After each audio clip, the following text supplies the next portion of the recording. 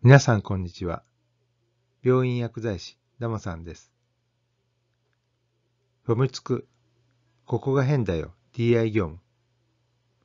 第2回は、薬剤師は穴埋め薬と題してお話したいと思います。突然ですが、質問です。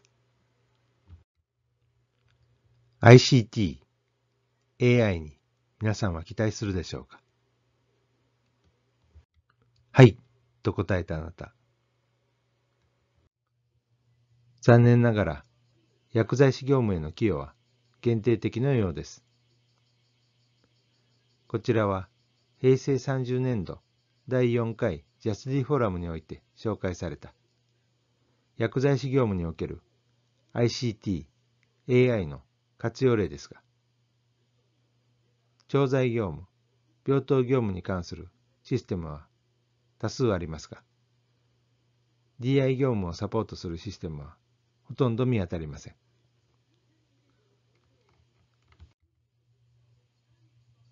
情報のタイムラグの埋め合わせに薬剤師が借り出されている点、私はここが変だと感じています。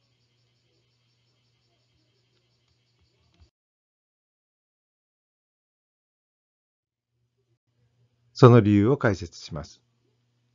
一つ目は、イエローレター等ならまだしも、膨大な改定情報を周知徹底できるはずがない点。医師はもちろん、薬剤師ですら、改定情報をすべて把握しているわけではありません。ならば、最新情報を随時参照した方が、はるかに合理的であると言えます。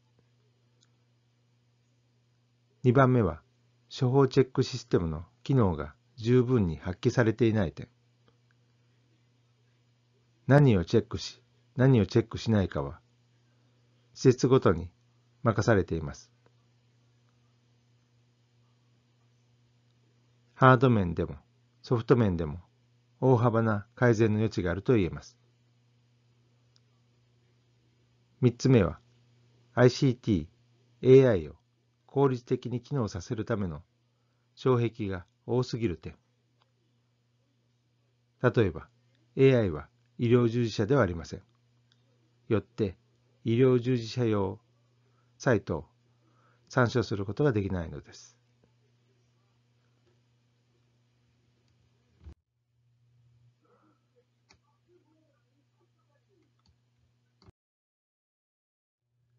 さあ、クラウド型医薬品集を作りましょう。クラウド型には、前回もご紹介したように、PMDA リンクと製品サイトのリンクが貼られています。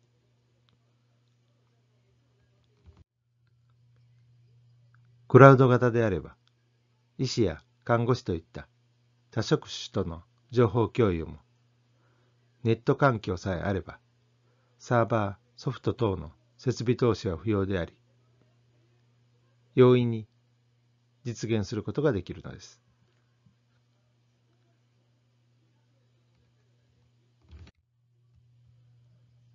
今回も最後まで視聴していただきありがとうございました。チャンネル登録をお願いします。